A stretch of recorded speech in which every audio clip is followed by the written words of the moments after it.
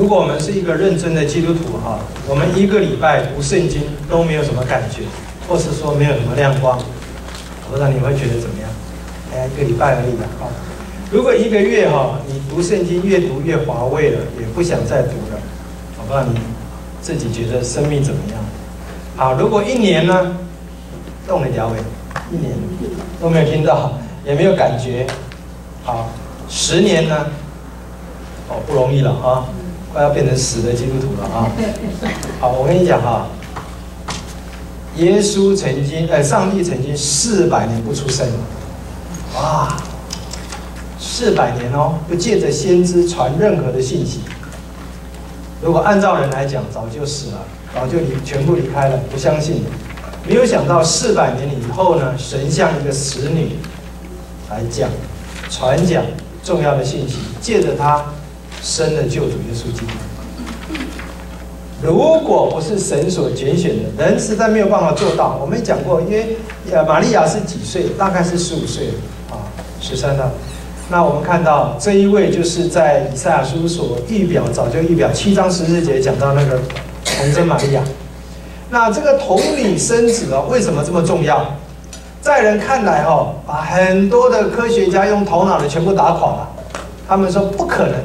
所以你知道哈，自由派神学是不相信这一件事情。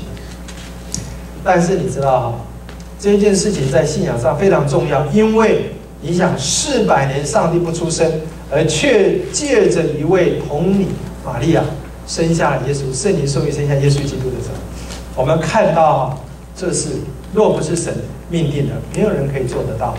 那我们看到玛利亚的事情很重要，我们看一下它为什么重要啊？很快。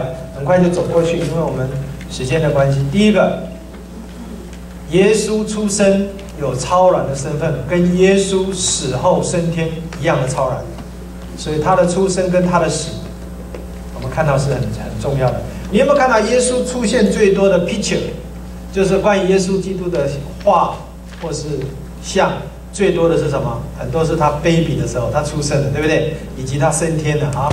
看到是很多，因为他有超然的身份。第二个，他是一个无罪出生的，因为他不是按人意出生的。好，好，第三个，嗯他有道成肉身的必要，因为肉身生肉身，啊，耶稣是道成了肉身的。第四个，我们看到圣灵跟圣子都是很重要的啊，你知道哈？你知道那个，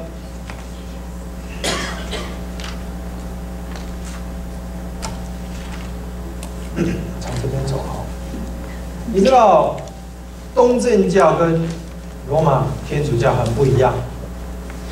东正教，我们到俄罗斯有一个经验，你要跟俄罗斯人讲耶稣基督，他第一句话马上问你，你是不是东正教徒？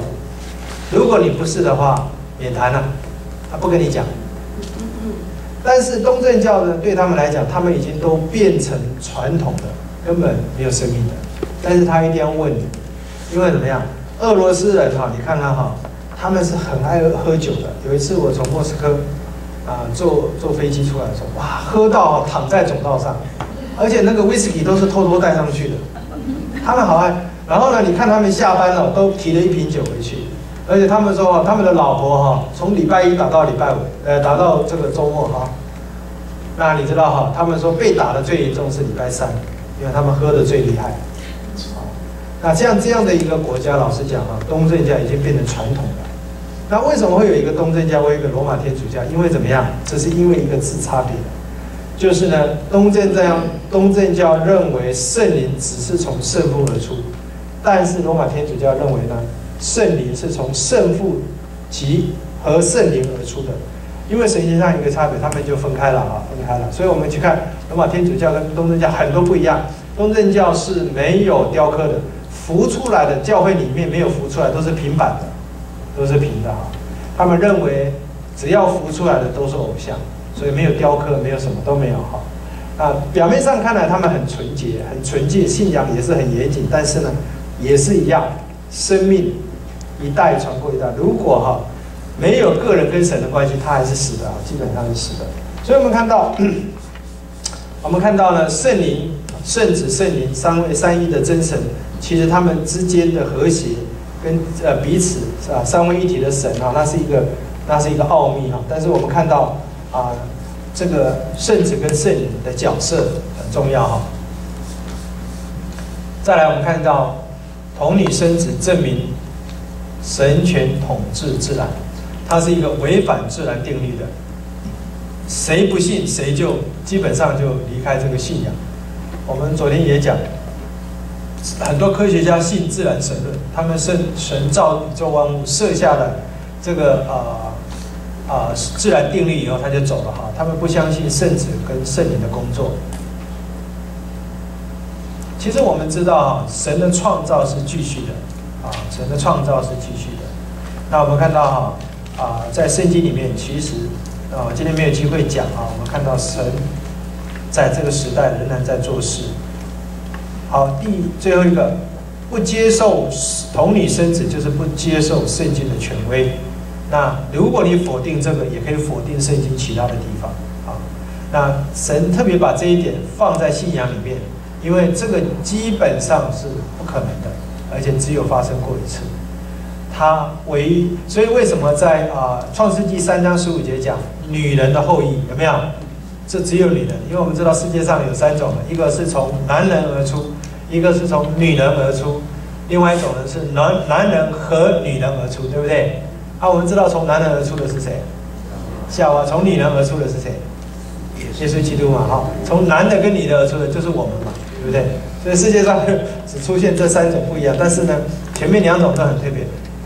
玛利亚，她的角色就非常重要。但是以赛亚早就说了，那如果不相信这个，几乎都不能相信其他的。真的是神的权威。好，道成肉身有三个意义哈。第一个，我们看当耶稣道成肉身成为人的时候，他是第二个亚当，而且是一个不失败的亚当。好，你有没有去看哈？无论是在马太第四章、路加第四章。当耶稣被圣灵带到旷野受试探的时候，有没有注意到魔鬼很厉害的？他很厉害的，他用神的神性试探耶稣，耶稣用人性回答：你若是神的儿子，你就可以让石头变成面包，对不对？你若是神的儿子，你就可以从殿顶上跳下来，神可以差天使扶着你。哇，他很厉害，他用神，那耶稣都用人性回答，对不对？人活着不是单靠食物，有没有？还是靠神口一说，人啊，我们不能试探上帝的。好，那这些是，你知道为什么他要用人性回答？因为哈，魔鬼深深知道，耶稣在受试探的时候，他是第二个亚当，他要用完全的人性来接受试探。因为怎么样？第一个亚当失败了，他在试探的时候失败了。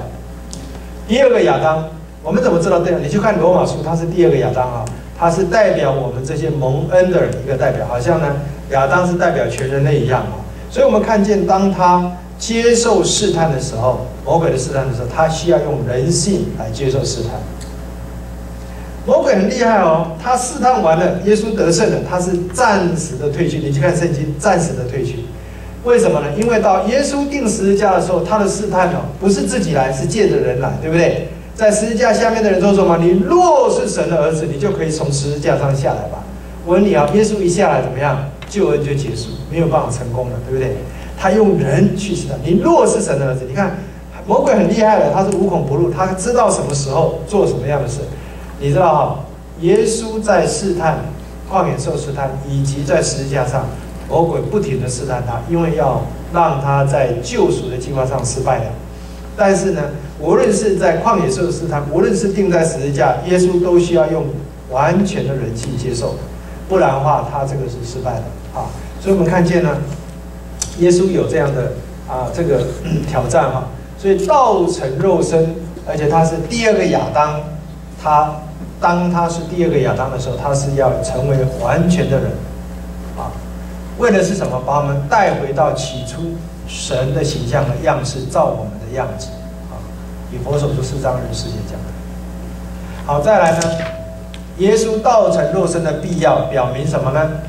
当他被钉在十字架，有人说耶稣被钉的时候连一块布都没有，啊，他是全然赤裸的，表示我们的罪要付上这样的代价，我们的罪是非常深重的。若不是耶稣这样的付上代价，我们的罪没办法除去的，就表示我们的罪何等的羞耻，赤身露体的，而且是显给世人看的。我们的罪本来我们应该这样受刑罚，而耶稣替我们受了，他是赤裸裸的站在神的审判台前，何等的羞耻！本来是我们的，现在是归算给耶稣基督。所以我们看到这个是很逼，这个是耶稣基督道成肉身的啊一个。目目的哈，再来道成肉身的完成，我们这个道进到我们生命里面，我们信耶稣的时候，当耶稣进到我们心中的时候，那个道改变了，变成我们生命的改变哈。那我问大家哈，我们信耶稣的时候是 接受一个全新的生命进到我们里面，还是旧生命去翻翻成新的？全新的是不是？你记不记得我们在哥林多后书五章十七节讲什么？若有人在基督里，他就是一个什么新造的人？怎么样？旧事已过，都变成新的。好，你知道希腊文里的“新”字哦，有两个字，一个是凯诺斯，一个叫 neo，n-e-o。我们知道英文有时候把它翻过来 n-e-o 哈。好，凯诺斯呢是怎么样？是讲到一个全新的，从无到有的。好像我们在一个地方盖房子，它本来是一个空地，后来就盖起了新的房子。还有一种是 neo 是怎么样？把旧房子拆了，翻新的。你知道哈？当他在讲到我们有一个啊啊，我们是一个全新的生命啊，个人在基督里，他就是新的那个新的是第一个新，就是一个新。好，我问你哈，好，我们人当你信耶稣，新的生命进来了，旧的生命还在，这两个会不会吵架？会不会吵架？会哦。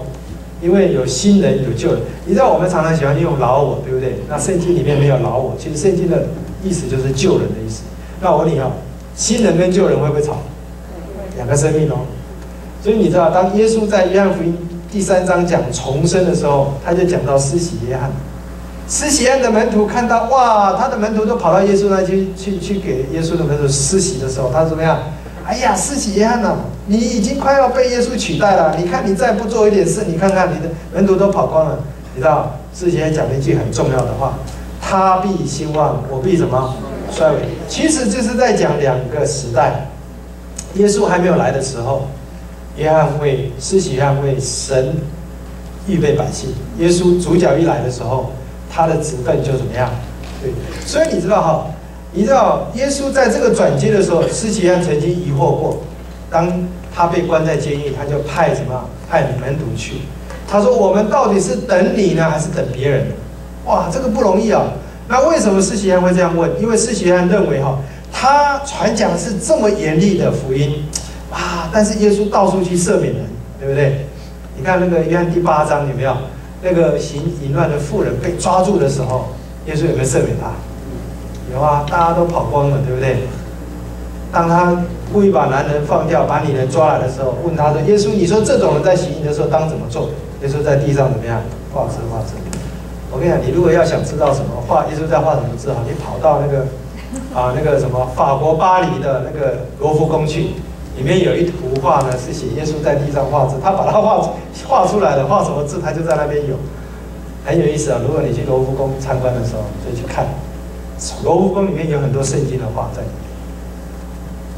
面，耶稣在地上画画画，然后呢，他们又吹逼他，耶稣就讲一句：你们当中怎么样？谁没有罪的，可以先用石头打他。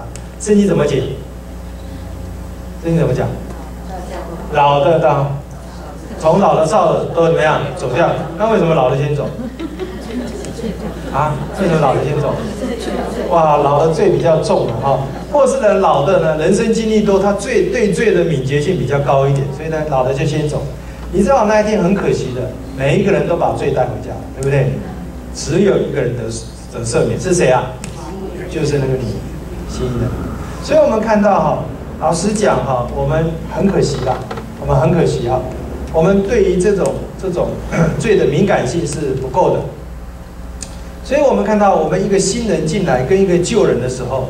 真的，我们的生命是一个萎缩，一个怎么样成长？一个越来越萎缩，一个越来越成长。所以保罗才会说怎么样？才啊叫我们说要克制己身，就是那个生命是慢慢萎缩的，需要经过克制，让它萎缩，所以要需要有很多很多方面的努力，靠着神的帮助啊，靠着各方的努力啊，那个救生命就开始怎么样？所以呢，以佛所说才讲一件脱去旧人怎么样，穿上新人，有没有？我不知道有没有跟大家讲过，在在日本东京那个事哈，我看到一个到日本东京的时候，我们进到一个书店，看到那个书店呢，哇，也没有卖旧书，怎么有一个霉味？后来发现呢，在书店的当中有一个有一个年轻人站在那里，啊，我也不知道，走过去，哇，怎么这么臭？后来发现仔细一看，他身体那个衣服真是脏死了。后来我再仔细一看哦，整个书店都离他大概有三公尺到五公尺远啊。结果他一动，大家跟着移动，大家都不敢进去。他一移动，大家都跟着移动。突然在那一瞬间，我就明白了以佛所说这一章讲的，脱去旧人，穿上新人。为什么呢？意思就是说，一个人不可能把衣服从早上穿到晚上睡觉也穿那个，然后呢，一个礼拜不换，两个礼拜，一个月不换，那你想那个人就怎么样？身上就臭了啊！所以呢，我突然就明白这句话：原来神要我们脱去旧人，穿上新人，是天天的。意思就是我们这个生命的成长是天天在变的。今天的我跟昨天的我是不一样的，因为我已经在今天脱去了旧人，穿好。我问你啊，新人跟旧人同时出现，对不对？旧的脱掉，新的穿上，意思生命一直在更新。所以呢，我们看到哈，两个生命，一个是旧生命慢慢的萎缩，一个是新生命慢慢的成长。当这个新生命越来越成长的时候，我们这个人就怎么样，变成一个全然不同的人。啊，神所应许的一个新造的人就成长大了。所以我们看到这个道的工作呢，就在生命里面一直处理这个问题哈，把那个旧的生命怎么样，旧的生命。败坏的部分呢，这个肉体就被道摧毁了。好，我们看一下哈，玛利亚她被圣灵感动以后，说出三个重要的定律，她是借着耶稣基督救主带来三个。第一个是在出现在呃这个路加福音一章五十一到五十三节哈，一个是道德的定律，道德的定律就是呢，神要施展大能。那狂傲的人正心里妄想就被赶散了，所以呢，神是没有绑臂的，但是呢是用来形容他的能力。啊，第二个我们看到这是道德的，第二个是讲到社会的定律，神叫有权柄的失位，叫卑贱的升高，使社会呢有追求公义。讲到这社会是有公义的，不是为所欲为的。所以呢，我们知道呢，就产生了。教会的，好，其实哈，美国和英国早期著名，我想这个是啊一百二十三间。我昨天呃前天要来的时候看到一个资料，差一间啊，一百二十三间。好，我们再来看一下哈，再来是经济的定律，叫饥饿的得饱食，叫富足的空手回去哈。因此我们看到呢，就产生今天很多的关于救济方面的。我们今天都有什么啊？好，撒玛利亚人有没有？我们有。啊呃，World Vision 对不对？那，这些都是呢回应神在各地，我们看到呢基督徒所成立的，包括医院、包括慈善的啊这一些事情。那我们看到呢，这个是当时回应啊耶稣基督的教训。所以你知道很多早期的基督徒，圣经怎么讲，他们就怎么做。所以呢，这些基督徒后来呢就做了很多当时社会没有的，也带出今天。所以你们看到今天很多哈。啊，医院也好，啊啊，什么孤儿院也好，什么麻风病院也好，都是起初怎么样？都是基督徒办的，很多这些都是回应神哈。好，我们来看一下，再来看，我们来看一下进入路加特殊的，我们来看一下施洗约翰的全家都是被圣灵充满。哇，这个家不简单了。我们来看一下他的父亲好不好？他的父亲是怎么样？是一个祭司。他早就说预言了哈，但是因为一时不幸变成哑巴，以后仍然可被充满。有没有看到他后来被充满说的那些预言？所以我们看他的父亲被圣灵，好，母亲呢有没有被圣灵充满？有，在路加福音一章四十一节，他被圣灵充满。有为什么？他去见玛利亚的时候怎么样？圣灵充满，他就说出了许多赞美的话。好。因为玛利亚的一句问安，他的圣灵就充满他。第三个，我们看到施洗约翰，他在母腹中的时候就被圣灵充满。然而他一生没有行过什么神迹，说过什么话都没有。啊，我们看到施洗约翰的角色是很特别的。好，我们刚才没有讲完哈。施洗约翰呢，他就拆门徒去问耶稣说：“我们等谁呢？”因为他有一个 confuse，他认为呢，他传讲的是很严厉，但耶稣常常在赦免，所以他就问耶稣。耶稣说怎么样？跟他的门徒讲：“你把我所做的告诉施洗约翰。”其中讲的那几个都是米赛亚的特征，就是什么呀？使瞎子的看见。你去看哈，安喜年的时候，你去看那个，当耶稣第一次出来服侍，在拿撒勒的会堂讲第一篇道的时候，在路加福音四章十八节，他把米赛亚的特征讲出来了。其中包括了瞎眼的看见，所以呢，他耶稣就把这些，他说你回去告诉施洗约翰，我做的就是这些事情嘛。施洗约翰马上就知道，当门徒跟他讲耶稣做的时候，他就知道了，因为他很清楚什么是弥赛亚的特征啊。所以呢，他就回去了。那，不久以后，施洗约翰就被砍头了，对不对？就被砍头，他的角色就结束，正式结束了。那我们知道哈，他问的那个问题其实很重要，到底我是等。等你呢，还是等其他的人？因为耶稣来的时候，很多人不清楚，包括施洗约翰。若不是他有米赛亚的特征，我们还不知道他是谁呢。好，我们来看一下接待耶稣的人，在路加第二章。有的人很奇怪，为什么耶稣不像那些啊神职人员、那些祭司、那些专职的人，而却像？旷野的牧人显现呢？那我们知道哈，其实这一些牧羊人在社会上的地位是非常非常的低。有有解经书说，他们在啊这个当时法庭哈，说是工会所做的见证是不被采纳的，他们是非常卑微的啊。但是他们相信天使论到这孩子的话，一个单纯的心相信了，因为呢，天使跟他们讲呢。玛利亚产前要生一个头胎，用布包起来就是一个记号，放在马槽里面，因为旅店没有地方。我们看到人在那个时候忙着赚钱，连耶稣要找一个呃父母亲要找一个旅店都没有，最后出现在出生在马槽里面。那就问说，我们今天有没有空间让神来居住呢？好，我们看一下大喜的日子。要传给牧羊人，牧羊人非常的害怕，但是呢，他就讲一句话了，他说怎么样？他说我报给你们大使的信息是关乎万民的，因为今天在大卫的城里为你们生的救主就是主基督。好，第三个呢，至高的上帝代替地上的主人，因为有人说那一天牧羊人所牧养的那些羊，其实就是圣殿里面的祭司的。那他们的主人，地上的主人就是祭司，但是今天神向他们显现，告诉他们，其实至高的上帝才是他们的主。好，所以呢，宣告一句话：至高之处荣耀归于神，平安归于在地上平安归于他什么？他所喜悦的。我跟你讲哈，这个不能颠倒的。如果颠倒了，就变成拜菩萨，你知道吗？有人说：“哎呀，先让我经历神赐的平安，我才把荣耀归给神，对不对？那就是倒过来。那这个倒过来了，就跟是跟我们什么？我们拜菩萨的，我我先求神明，神明给我好处了，我就给他香油钱，不是这样吗？所以你有没有发现哈？先荣耀归给神，哇，这个是凭信心哦。然后呢，我们才经历平安在地上归。我问你哈，我们在十一奉献的时候，你怎么经历？”我们十一奉献不是有剩下才给，对不对？我们一拿到钱的时候，我们把十一怎么样拿出来？然后呢，我们用信心来靠那十分之九来经历上帝。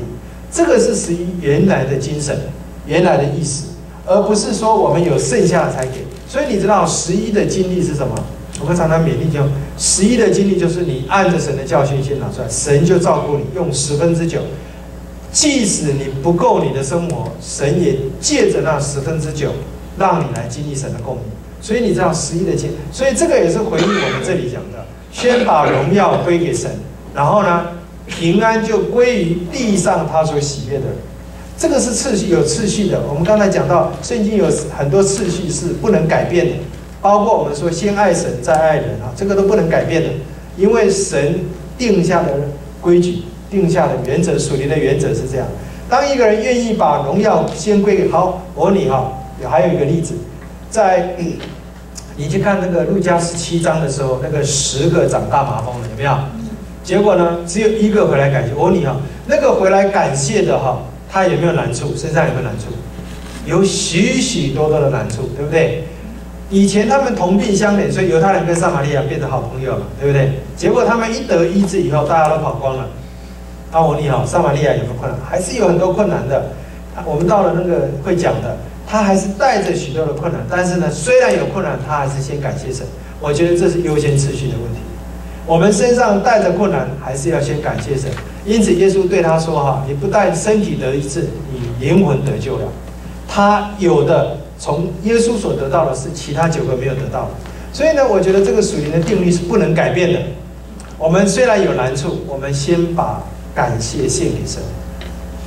在这里哈，我们先把荣耀至高之处荣耀归给我们的神，然后呢，才能够经历到平安归于在地上他所喜悦的。我觉得这个次序是不能变的哈。所以我们看见呢，这是他所定下的律例。我们尊主为大以后，我们才可以享受心内的平安。如果我们次序倒过来，我们永远是自己做主人，我们不是让上帝做主。好，也只有路加写耶稣一到十二岁的情况。为什么？因为我们已经讲过了，路加的主题是讲到耶稣完全的人性，因为他有人性，所以他就写到他幼儿成长的过程。啊，这个只有路加。路加在写耶稣一到十二岁，跟十二岁满十二岁、十三岁以后不一样。我问你哈，耶稣怎么会在圣殿里面丢了？怎么会丢掉了？好，我问你哈，耶稣为什么要上圣殿？为什么？因为他，你知道犹太人是这样，十二岁以前跟十三岁以后。满十二岁，第十三年开始是不一样的。我儿子以前在那个东岸读书的时候，我跟你讲，那没我刚才不是讲过犹太人很多，对不对？犹太人有一个成年礼，满十三岁，所以他是初中去参加一个成年礼。哇，他看了一下，全部都是犹太人，只有他是东方人。啊，我就问他说：“哎，那你这些朋，因为我那个小儿子教的都是这些白人啊，就一看哦，他要他去的，你知道很有意思。他走回来的时候拿一个那个杯子。”拿一个杯子，上面都有他们这些很有意思啊！这些成年礼的时候，他这个是其中一个礼物哇，上面就写写了很多犹太人有一个习惯，写希伯来文啊，写在上面。然后呢，纪念他办了一个成年礼。热心的犹太人会为他们的孩子死过了满十二岁、十三岁就办一个成年礼，然后有正式发帖子的。有这，我儿子是唯一去看过成年礼的一个人哈，我没有看过，但是他看过。那为什么要成年礼？为什么耶稣会在圣殿迷失了？因为哈很有意思哈，十二岁以前孩子还小，妈妈管，妈妈带；十三岁以后他是带人跟着爸爸走。所以呢，到了十三岁去的时候呢，玛利亚说：“哎，孩子呢？啊，孩子不是跟你吗？”他说：“你不要糊涂，十三岁以后他要跟爸爸。”啊，爸爸说：“哦，我忘记了，我赶快回去找嘛，你知道吗？”所以耶稣哈，这个是我看他们历史背景，他讲到耶稣十三岁以后，他是一个成年，他要跟着爸爸走。所以有一次我去我在富勒读神学院的时候，我们有一一堂课哈，要去拜访这个这个这个啊犹太人的会堂，我们就去拜访。啊，我们拜访，我们进去的时候要戴他们的瓜皮小帽，嗯，呃，这个是尊重他们的信仰，所以我们在门口都戴一顶瓜皮小帽，我们就进去了。哇，进去里面呢，我们就参加。哇，他我跟你讲哈，希伯来歌很好听的，啊，他唱，我们不是早上，哎，你不是带一首诗歌吗？哈，那个很那个调子真的是很美。然后呢，我们打开他的希伯来圣经哦，包括诗歌本都是从右边到左边，因为希伯来文是这样写的。然后你看到的希伯来文那个字很大的都是子音发不出声音的，它的母音是在上面跟下面点点那个小东西，那个才是母音。所以亚威是发不出声音来的，因为不能妄称耶和华的名，所以耶和华是发不出来，在希伯来文是发不出声音的。所以我们就去了啊，我们就跟他们唱，很高兴。然后他讲了，好，后面有一个仪式很重要，什么仪式？就是他们欢迎啊新的犹太人的家庭进入这个 community。你知道怎么做？你知道很有意思，我印象很深刻。他们就把爸爸带着儿子上去，哎女的没有上去哦，儿子上去，然后上去做什么呢？他就在讲台的后面有一扇门，那是玻璃门，上面有一棵树，然后呢有十二个果子，就是十二个支派。然后呢，那个门一打开以后，里面就是 Torah，就是羊皮卷的圣经，旧约圣经嘛，哈，羊皮卷，然后就卷了。然后呢，有一个仪式，就是父亲带着儿子去摸一下羊皮卷，然后呢就出来，然后门又关起来，表示呢他已经进入这个 community。只有父亲带儿子上去，所以你知道哈，很有意思，他们有一个习俗，他们有一个成年礼，十三岁满十二岁，十三岁就开始了。所以你知道哈，十二岁以前就是小孩子跟着妈妈，十三岁以后就怎么样，跟着爸爸。所以他们把耶稣弄丢了。有人在这样解释，他说当时呢就是十二岁以前是跟着妈，所以玛利亚就说啊儿子呢，玛利呃耶稣说他不是跟着你吗？哦，他长大了要跟着你，所以耶稣就弄丢了啊。所以呢，我们看到十二岁以前的耶稣跟十三岁以后的耶稣是截然不同。所以呢，路加就把它写下来。我们来看一下啊，路加就把它写下来。好，这里一样的好。我们看一下前面一，前面一张哦呀呀，OK 好。我们看一下哈，十二章呃十二岁的结论呢是在四十节，我们看一下四十节好不好？以下书二章四十，这是对耶稣过去十二年的一个结论。陆江，我刚才讲错了是吧？对。好，陆江。路加第二章四十节，我们念一下好不好？这个是十二岁的结论。来，孩子渐渐长大，强健起来，充满智慧，又有神的恩在他身上。你这个渐渐长大哈，我们英文翻这个 grew 对不对？G R E W，原来的意思就是说哈，这是一个自然成长。你给他饭吃，他就长大了；你给他饭吃，他就长大了。然后呢，他的成长的内涵就是身体渐渐强壮了，而且充满智慧，有神的恩典在他身上。啊，这个是耶稣哈，耶稣。好，那我们看一下十，我们从四十一节到五十二节，就是耶稣满十二岁成长的，十三岁开始成长所发生的事情。满了十二岁成年以后，他们他们可以正式上圣殿参加敬拜。那为什么走丢了？啊，我们刚才讲过了，十二岁以前跟着妈妈走，十二岁以后跟着爸爸走。那耶稣在这个转接的时期就怎么样？圣殿里面走失了。其实没有走失，耶稣知道他要做什么，只是对父母来讲他是走失了。好，那我们来看一下哈，十三岁开始有什么特征？十三岁的结论呢？开始的呃不是结论，就是开始的特征是在五十二节。我们再念一下五十二节，好不好？陆家。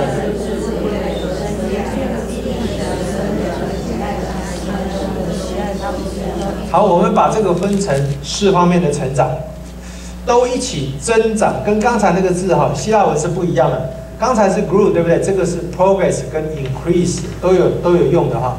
那这个这个希腊文本身有这两个特征，那有解经的人就把它分成这两个来形容。什么叫做 progress 哈？就是呢，当一个部队先锋，他要在前面开路的时候，他用刀子披荆斩棘，军队才能够向前前进。那这个呢，就是在形容 progress，就是在形容孩子的特征。意思就是说，孩子在这个时候，他有他的压力，有一点像什么部队的先锋，披荆斩棘才能向前。所以呢。那我们知道哈，我们我们常常称这个孩子叫做 teenager，对不对？是不是十三岁以后那个 teen 才跑出来英文的，对不对？我们常常称，那我们也常常说称这个时期叫悖逆期，对不对？rebellion 啊，那为什么？当然每个孩子不一样，但是呢，常常在这个年龄、这个阶段的时候就产生了抗叛逆了。那有的父母哈不会养啊，我包括我也不会养。我们到了这个天年九，不知道，我们还是照以前养，对不对？啊，尤其呢，我们养第一个孩子，有没有听过？第一个孩子是照书养，第二个孩子是照猪养，没听过？因为怎么样？有经验了嘛，所以第二个就可以驾轻就熟。所以第一个是翻书教科书养的，啊，养出来也不一定养得好。所以我们也不知道这个孩子呢，其实已经进入叛逆期，我们也不知道。哎呀，养得好辛苦啊！那你知道因为他在改变。那我们讲，如果我早一点知道这个经文，我就不会养得那么辛苦了。为什么？因为耶稣早就把这个特征写出来。就是呢，他本身有孩子的挑战，他有 peer pressure，他有很多的特征，我们不知道。我等一下会讲这四方面的哈。另外一方面呢，是母亲的。他说，第二个希腊字的第二个特征是，好像铁匠把铁落红了。然后常常敲敲打打，敲敲打，塑造其要需呃需要的形状。那这个就是母亲的特征，把孩子当做怎么样？落红的铁，敲敲打打，敲敲打，要把它打造成父母亲所喜爱的那个样子。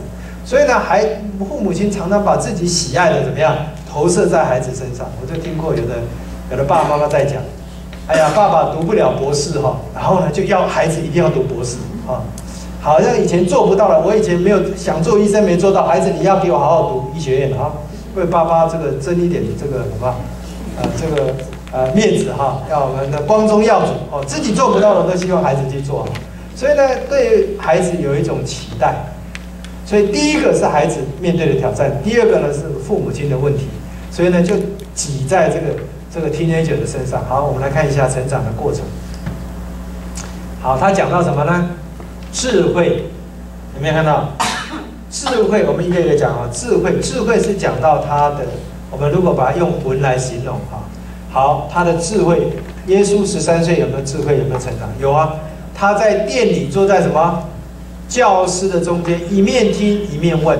凡听见他的，都吸取他的什么？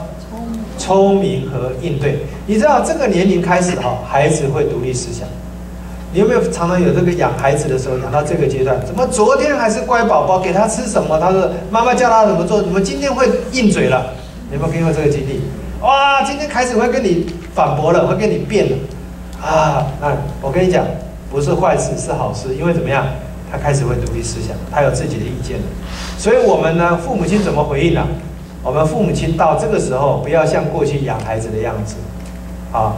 不要说你一个命令一个动作，你要他做什么他做，不是，我们就怎么样用启发式的跟他一起成长。所以我们走过来的，我们就说啊，孩子这个时候你要跟他他一起成长。有时候孩子去学校，你看他一天八九个八个小时在学校，只有两三个小时、三四个小时跟你在一起，你说他受谁的影响大？有时候我们看到学校教回来了，有时候跟我们的教导的方式不一样。所以我们就跟他们一起成长，带他们走过啊。那我觉得这个是智慧方面的。好，你看到神喜爱了他的心，就讲到灵命方面的。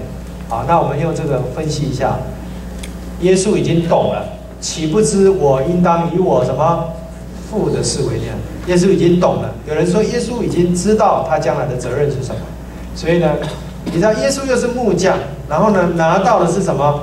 锤子，拿到的是钉子。拿到的是木头，你知道将来他就是要受这样的定定十字架，所以呢，耶稣如果在那个时候从小他就知道的时候，你就想到耶稣怎么预备自己上十字架，他天天拿的东西就是将他将来要承受的东西，啊，那个是真是不容易啊，所以他说岂不知我应当以我父的事为念吗？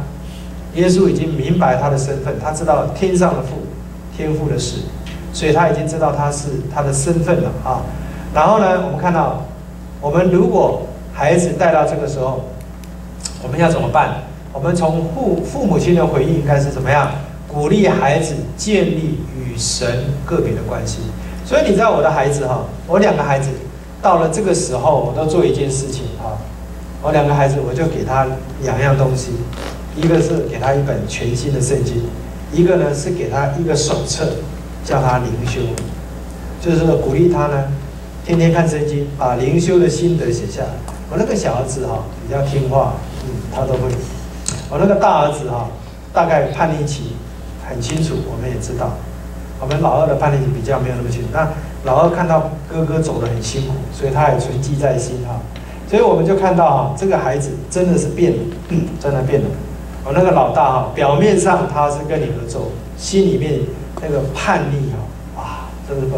你知道我们五岁才生的这个老二，所以呢，那个前五年哦，都把了所有全家的注意力投射在老大的身上。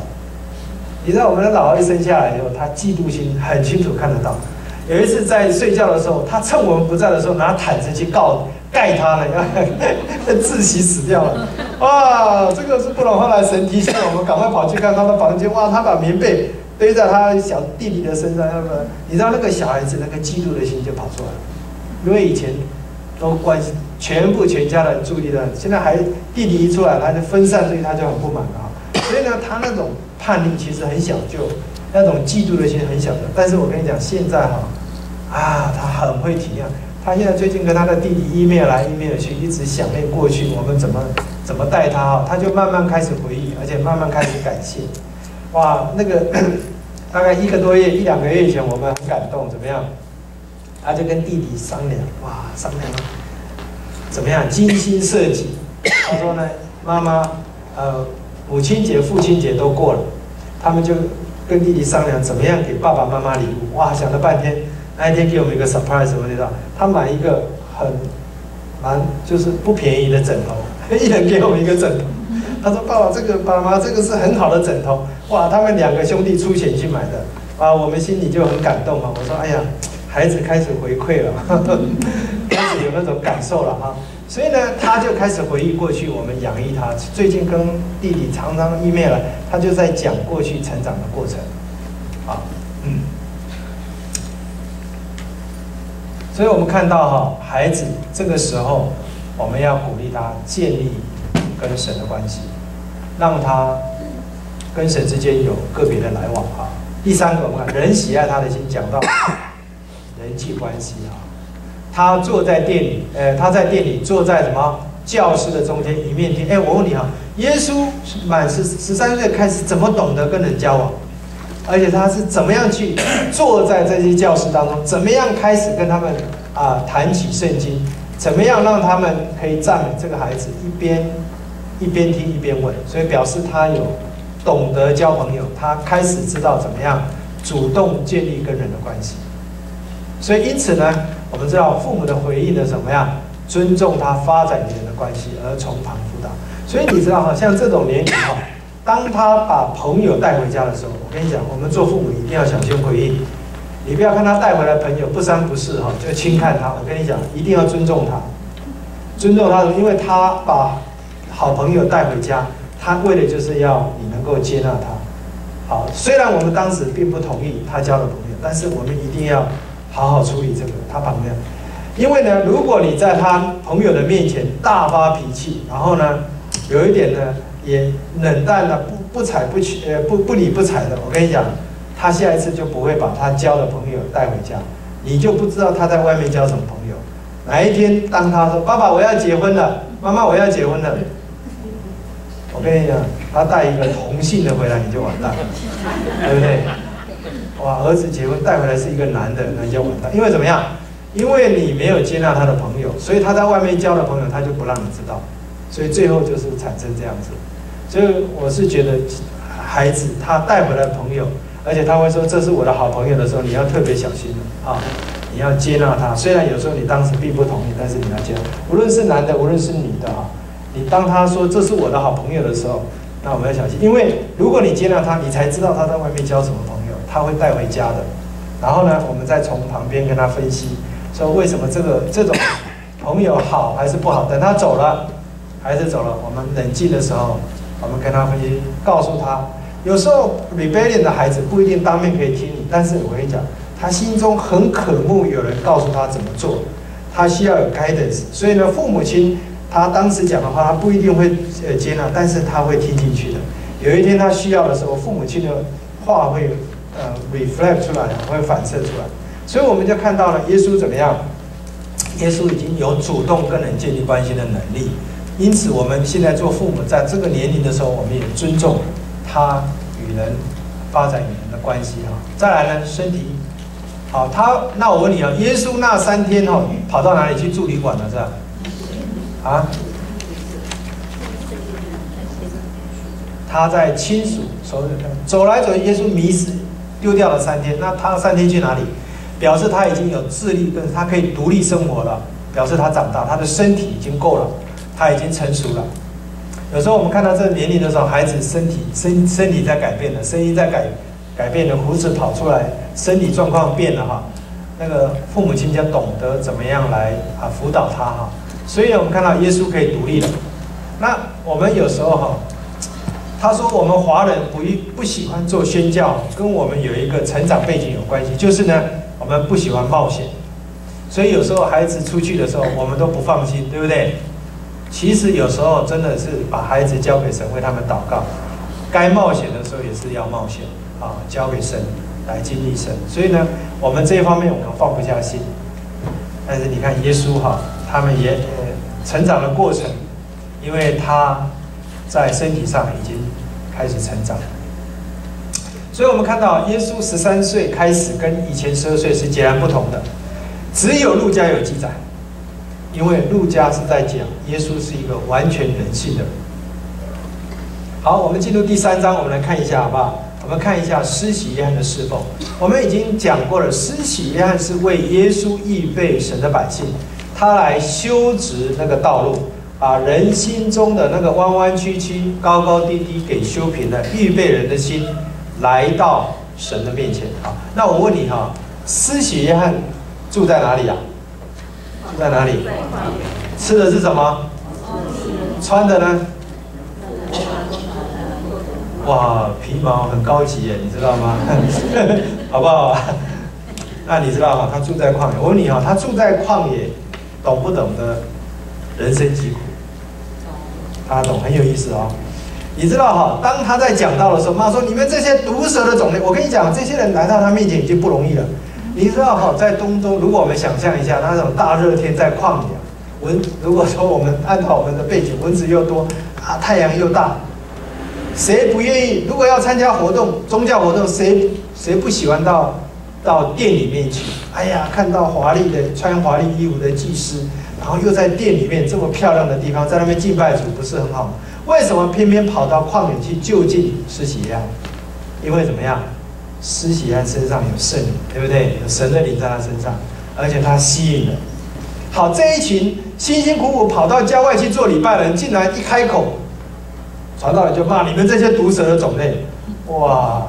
但是我们今天哈没有这个礼拜堂？我们到教会，教会刚开始在公园里面聚会，然后呢，我们辛辛苦苦跑去了，一开始传道人就破口大骂你些毒蛇的种类。哎，我跟你讲哈，越骂人越多。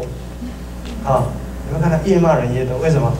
因为如果我们去看这一段经文，你发现哈，当他骂毒蛇的种类的时候，我跟你讲，施洗约翰很懂得他们，他爱他们，而且知道他们心里在想什么。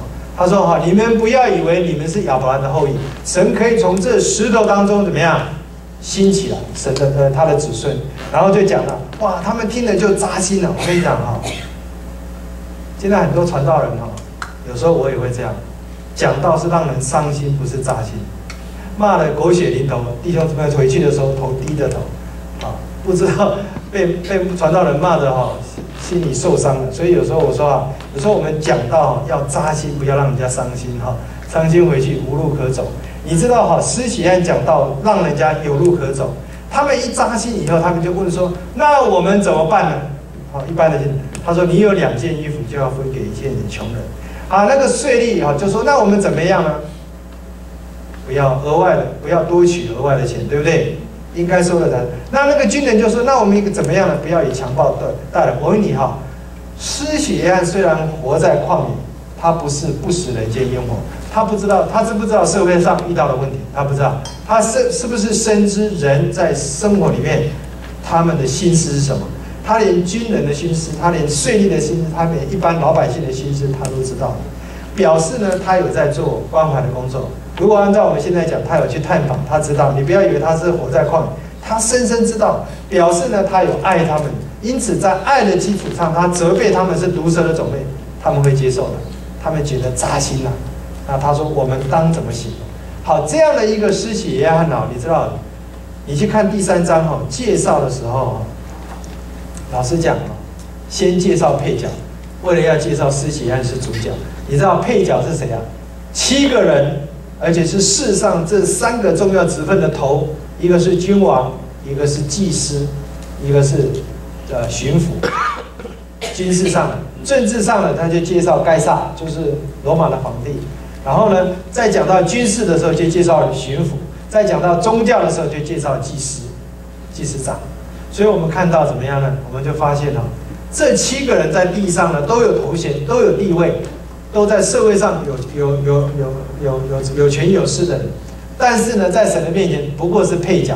为了介绍后面那一位主角，用七个世上的最显赫的地位来介绍后面那个默默无闻，在世人看来没什么，连头衔都没有。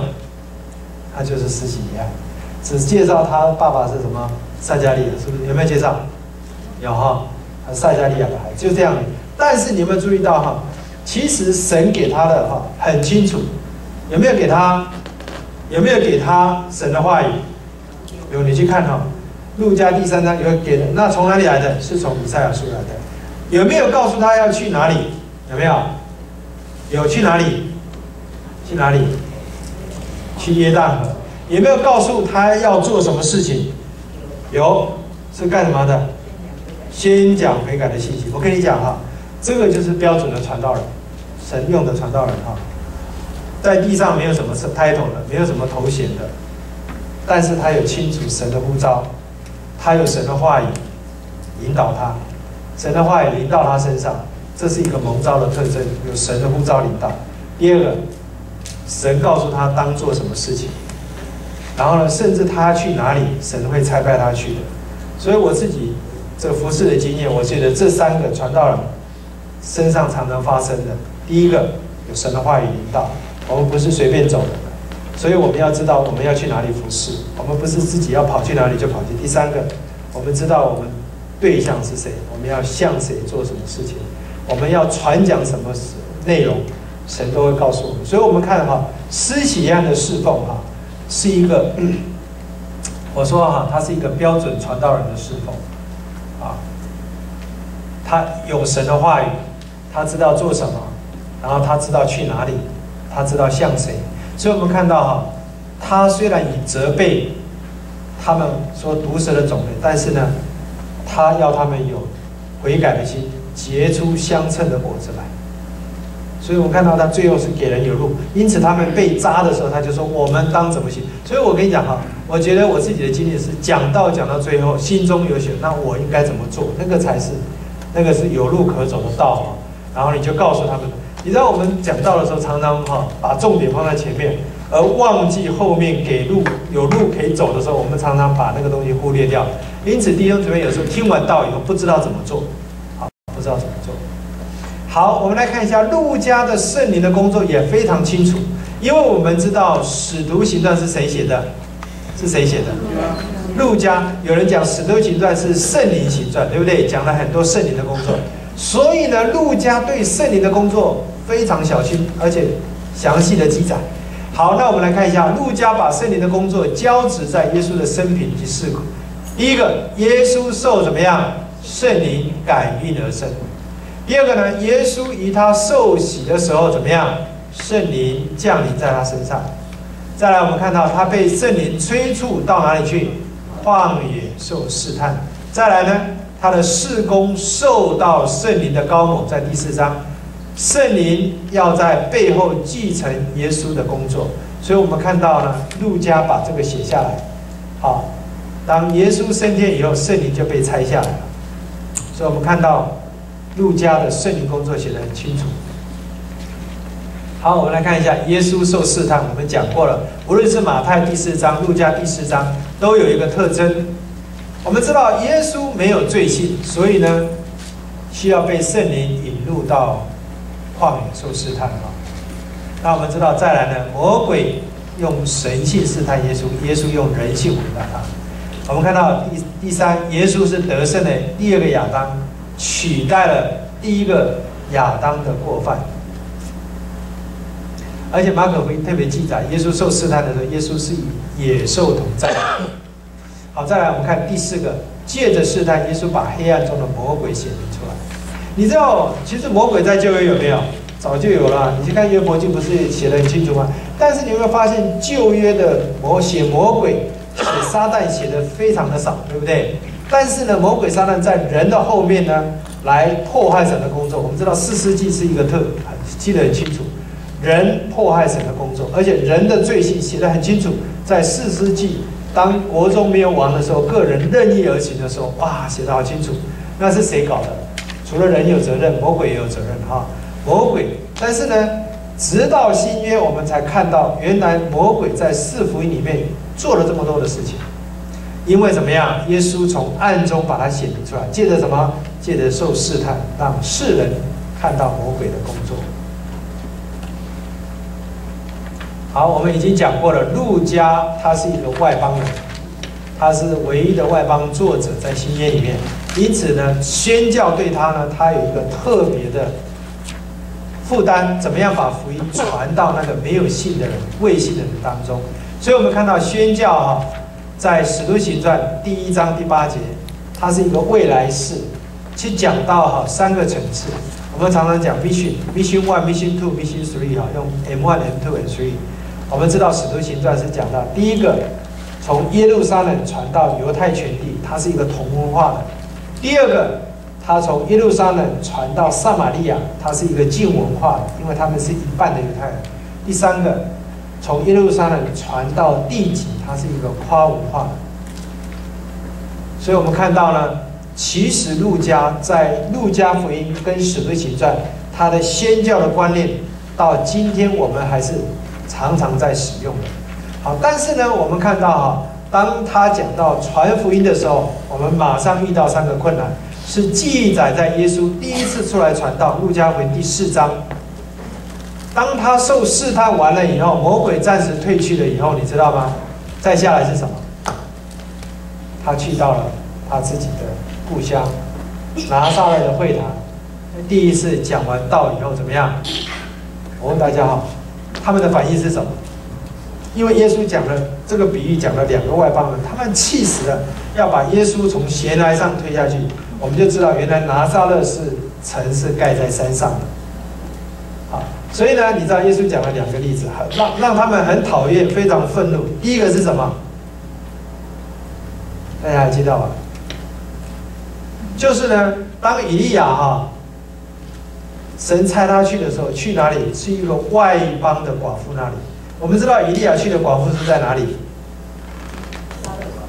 撒勒法的寡妇，对不对？撒勒法在哪里？撒勒法其实就是耶喜别的故乡。是耶喜别的故乡，所以呢，我们知道哈，神把他猜到耶喜别的故乡，这个耶喜别就是将来追讨以利亚性命的人。你看哈，神很有意思，很幽默哈，啊，所以我们看见呢，啊，被啊在耶喜别的呃不，这个呃我们看到这个 这个啊那个当时的工作哈，好，我们看到哈，耶稣就讲这个了。为什么不到犹太人的寡妇，而偏偏到一个外邦人的寡妇？因为那是一个外邦的地方。第二个，当他讲到大麻风病的时候，只有乃曼得医治，对不对？啊，也是一个外邦人。所以呢，这个犹这个犹太人的会堂听到耶稣讲到用的都是外邦人，哇，他就很生气了，把他推到外面，要把他从悬崖上推下去。所以我们就看见怎么样？第一个。魔鬼因为神的话，耶稣讲的那些话，他就退去了。但是人却不因为神的话而听话，所以他说怎么样？其实传福音最困难的啊，是在乎人，而不是而不是在乎魔鬼啊。最难处理的就是人啊。我们常常讲，人在哪里，麻烦就就在哪里啊。所以我们看到哈，其实宣教最大的困难，有时候我们常常讲是魔鬼的工作，但是不要忘记人的麻烦更多哈。第二个，宣教的困难在乎自己，不在乎别人。为什么？因为耶稣讲完道，在自己的故乡讲完道以后呢，他讲了一句话：没有先知在自己家乡是被悦纳的，对不对？他说：“医生，你医治自己吧。”你看看自己老家的人听不进去。所以老实讲，传福音最难的不是在别人，是在自己。所以你们，我们刚才已经讲过哈，在所有传福音当中，亲人要带亲人信主，容易不容易？很难呐，亲人，因为怎么样？他从小看你长到大，然后呢，你在家的一举一动，他一清二楚，啊，你看，所以你知道，我们我们基督徒在亲人当中啊，你知道，我不知道，他们都有一种投射，认为你是基督徒，你应该表现比别人更好，对不对？当他们一知道你是基督徒，马上把标准提升到一个程度，对不对？啊，他们对基督徒有一个不同的标准，他自己做不到，但是他希望你们这些基督徒都有不同、更高的呃这个标准在那里。所以哈，亲人不好带，真的亲人不好带。他们对我们有一种啊，有一种啊过分的期待哈。好，我问大家哈，当我们出现在人的面前的时候，你是一个基督徒，你是要用罪人的身份出现，还是圣人的身身份出现？那当然我们不一样，我们是一个蒙恩的罪人哈。那你想，我们出现在人的面前？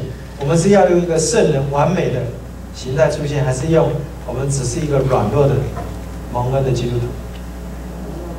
你去看哦，有的路家有，因为路家在写人性，对不对？你记不记得他在解十八章第九节到十四节的时候，他就举一个很清楚的例子。他说呢，有两个人到神的面前祷告，一个是税吏，一个是法利赛。那法利赛人怎么祷告？他说啊，天父啊，我不像我旁边这个人呐好。哦，他又啊淫乱，又奸淫，又怎么样讹诈别人了？啊，我一个礼拜哈怎么样进食两次，我把十分之一都奉献。你知道圣经怎么形容他？他是自言自语，对不对？啊，自言自语。所以你有没有发现哈，法律上人的祷告，我们很多人也是这样祷告哈。是报告加控告，有没有看到？有没有看到他的祷告？先控告别人，这个这个旁边这个税吏，然后报告他今天做了什么，这个礼拜做了什么。所以有的人祷告是，哎，你有没有听过人有人在祷告中骂人的？有没有？啊，有没有听过？啊，哦，在祷告中骂人的哈，呃，平常不敢骂，祷告都骂出来了哈。好，所以呢，有人祷告是怎么样？控告加报告，但是圣经形容他是自言自语，意思就是天花板都穿不过了哈。但是这个税吏怎么祷告？一句话而已，捶胸说什么？上帝可怜我这个罪人吧！你知道耶稣的结论是什么？他们两个人回去哈，谁为有益？意思就是说，谁我们讲过了，谁跟上帝是有关系的？是那个罪人，对不对？税吏嘛。所以呢，其实我们今天出现在人的面前哈，我们如果是用圣人的方式出现，那很做的很辛苦，对不对？很辛苦啊！你要 perfect 的人。那你知道哈，这一些亲人，他们要我们哈，你信耶稣的，你就要跟人家不一样。所以呢，从这里更显出一件事：若不是神拣选，若不是神感动，若不是神开了他的心眼，你再怎么，我们都我们看到，当然人有责任，但是很难的，因为他们呢，把我们，所以我们基督徒在他们面前，我们要怎么出现呢？我们要知道，我们是有软弱的，我们是一个蒙恩的罪人。我们还是在一个生命更新、脱去旧人、穿上新人的过程，所以呢，我们活在亲人的面前呢，我们要用这种方式活出来。我们不要去说：“哦，我是基督徒，我这个不做，我也那个不做，你们做的都不对。”我们基督徒都不会这样子。那你要用圣人的时候，你很难跟亲人传福音的，你知道吗？你要让他们认同我跟你是一样，但是我跟你有一点不一样。我是一个蒙恩的，我虽然是罪人，但是我是蒙恩的罪人。我跟你一样，我也是有软弱，但是我的生命在改变，我的生命在成长。我们如果用圣人出现在他们面前的时候，我跟你讲，他们有一天会看我们是假冒伪善，我们嘴巴讲的是一套，我们以为我们比他们高一点，我们想要做圣人，结果他有一天看到我们了，我们只是嘴巴做，我们是假冒伪善的。所以老实讲不容易的，但是呢，我求神，我求神帮助我们哈，求神帮助我们。其实最困难的是在。自己哈，自己的人，拿上来说：“医生，你医治自己吧，这个是最难的。”第三个，先叫困难在乎基督徒，不在微信的。我们知道呢，《路加福音》四章十六节到三十节是路加记载耶稣出来传道的第一篇讲章，好像马太福音的登山宝训，但是没有想到这一篇讲章却却激怒了听到的人。那耶稣到底讲了什么道，让他们这么被激怒？原来讲的是外邦人，一个是萨勒法的寡妇，一个是叙利亚的乃曼。结果呢，把他们当做例子来讲的时候，他们就激激怒了他们。其实耶稣在告诉他们是什么呢？意思就是说，神不只是有以色列人的神，他也是外邦人的神。你们耶稣来告诉他，你们不要以为哈，你们拥有特权，你们是上帝的选。他说不。有的外邦人还比你们更好，所以，我们综合以上啊，耶稣讲的第一篇道，我们就看到什么呢？第一个，我们需要敬畏并顺服神。我们如果不敬畏，而顺服神的话，我们就犯了刚才讲的第一个错误。第二个，看见自己的需要，不要说医生你医治自己吧。第三个，我们要有一个开广的心灵视野，不要以为我们是神所独爱的，神爱那些世上的灵魂，所以呢，看出来我们比别人更需要上帝，因此就解决了以第五章认识自己是罪人来处理这样的问题。我们知道路加第五章是什么？路加第五章是什么？我们就讲到彼得，所以我这个是礼拜天的讲道，好不好？我们就讲彼得。彼得以前称耶稣是先生，后来经过这个以后称耶稣是主。我们知道，除非一个人看见自己是罪人，不然没有办法解决第四章的问题。第四章就是他故乡的人，除非他心眼打开，看到自己是罪人。那这个怎么样从没有看到到有看到？我们礼拜天讲到会讲这个，怎么从没有看到跟到看到，怎么样？那个过程怎么样？我们礼拜天再讲，好不好？好，所以我们跳过去哈，我们到了第六章。好，我们讲第六章是平原宝平原宝训。我们刚才已经讲过了，它出现在哪里？出现在路加第六章。那我们知道路加关于马太福音的登山宝训，它是分散的，它是散开记的啊，无论是。啊，哪一个部分它是散，但是不像马太记的那么多，但是它是分开记的。啊，耶稣在皮好，我们看路加，他是一个外邦的，所以呢，他看的太多了，他外面看待经历太多了。好，当他在论福跟祸的时候，路加增加了福跟祸的对比，好像在旧约在事件的时候，神。面对代表祝福的山基利西山跟代表咒诅的山以巴路山，以色列也要自己做抉择。意思就是说，我他们来到这里的时候，你到底是要遵守神的到以这个基利西山，还是呢你不愿意听神的话而受的咒诅就到以巴？所以你知道哈，有人说哈，那个约翰第四章，耶稣跟那个撒玛利亚妇人讲到的时候，他说怎么样？那个妇人说怎么样？他说：“你们犹太人说敬拜神是在耶路撒冷，我们说什么呢？我们敬拜是在这个山上。有人说呀，那个就在耶撒玛利亚那个山上，就是为什么？因为撒玛利亚人是不纯种的犹太人，他们犹太人拒绝跟他们往来，所以他们就在那个山上敬拜神。那我问你哈，那个撒玛利亚妇人啊，每一个礼拜去敬拜，但是呢，却仍然活在最终，对不对？”耶稣从活水、井水讲到活水的时候，突然怎么样转变？叫你的丈夫来。有一次我就问大家哈，我说我问大家哈，为什么耶稣讲到活水以后，马上说你去叫你的丈夫？哇，有的弟兄姊妹，也特别是姊妹，有的很单纯。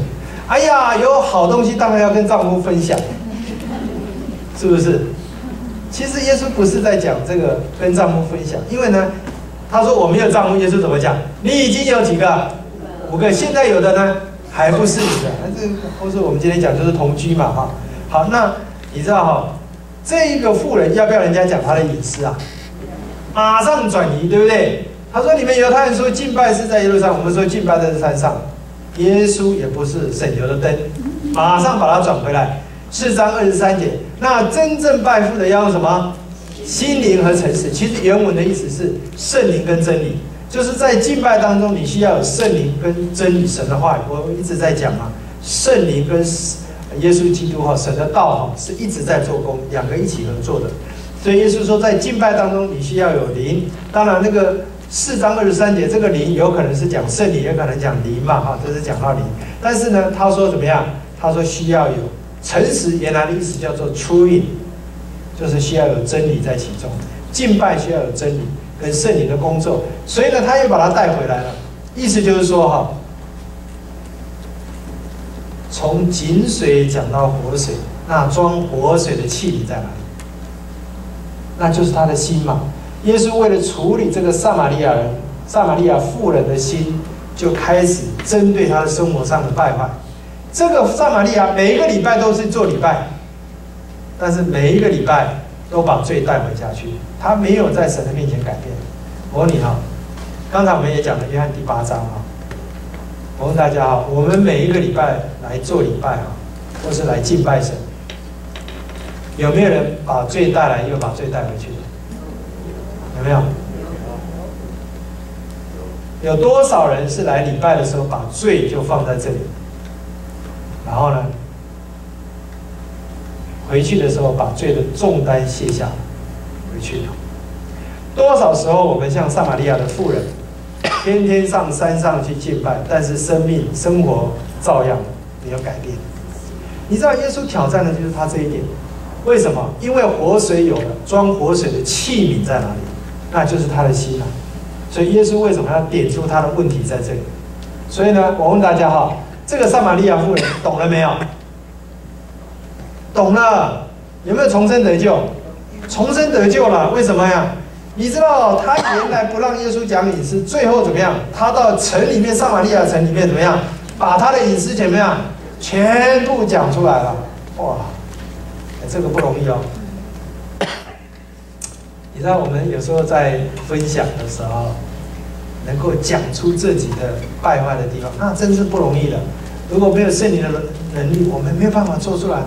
这个妇人竟然像虔诚的，你知道为什么她白天日正当中去打水？就是怕人家讲嘛，她的那个行为不愿意在啊别人在后面道说三道四的嘛，对不对？所以她就是人家不在中午去，耶稣就是偏偏为了她来的，好。所以你们看，约翰第三章跟第四章很有意思。那个晚上偷偷来见耶稣的，就把名字登出来了，他叫尼哥底母。那个白天哈啊出来的，大白天出来的，耶稣就保护他，没有写这个撒玛利亚妇人叫什么名字，有没有看到？哎，上耶稣也有人权观念。啊，你越偷偷的，你就越显显出来哈。你越不是光，你就你知道这个白天的妇人，他知道，他为了他走的。你知道这个妇人就把他的隐私在全城传讲了。后来那些人有没有去到耶稣面前？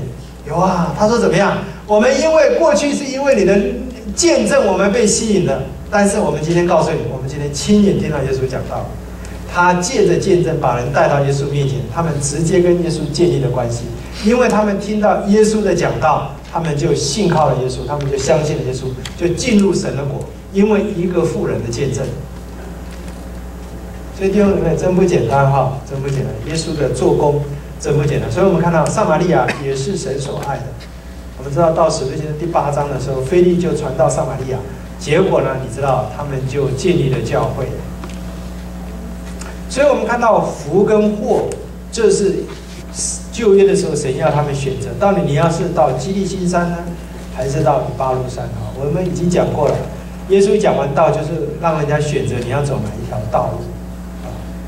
哎，我们剩下五分钟哈，我们讲到这里可以吗？可以。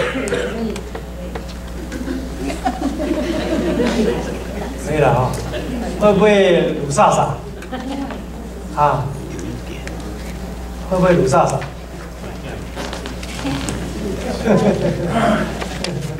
再讲下去叫鲁萨萨。其实哈。我我没有，我只有这个奥赖的。那我我分享是，当然我也是教过一些几次了哈。但是我是觉得，其实我跟你分享的也是我的生命历程，啊，都是刻在我的生命的啊，刻在我的心板上的东西，我跟你们分享啊。所以呢，我是觉得，如果神的话真的是这样来帮助我的，真的在一生当中，我们活在他的话语里面，其实就活在喜乐当中。啊！你每一次发现神的话语出来的时候，神对你说话，借着圣经对你说话的时候，哇！你那种喜乐哈，跟那种生命的那种得到的那种神话语的那种，好像活水的甘泉的时候，哇！所以我我我每天哈早上起来灵修，不管有没有得着有没有亮光哈，但是呢，我们讲我们是在面对一位圣洁的神。有一次呢，我去讲道，结果呢，那个有一个老姊妹说牧师啊。我话语都记不起来，然后他就不想读圣经。我说姊妹，你不要担心，我就讲一个例子。